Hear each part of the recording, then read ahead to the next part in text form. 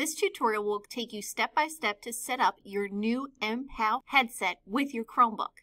Your new headset will come with a docking station that you can plug directly into your Chromebook or directly into a wall with a charging block. Sign onto your Chromebook like you usually would, and then once you're logged in, find the time in the bottom right corner. When you click on this area, you will see a Bluetooth option available to you. You want to make sure Bluetooth is turned on, but then you'll also need to go deeper into the settings. Now we'll start pairing the device. Click on the button at the bottom of the headset and hold it down for several seconds.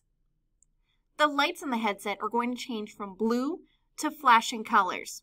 You want to make sure you're holding down the headset long enough that you see blue and red flashing. Within a few moments, you should see the headset is available to pair on your Chromebook. You will click right on the device and allow the Chromebook to connect.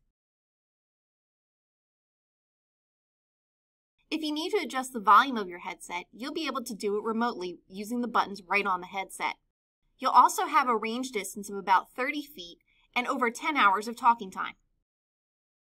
When you're finished using your headset, you will hold down the same button you used to pair the device.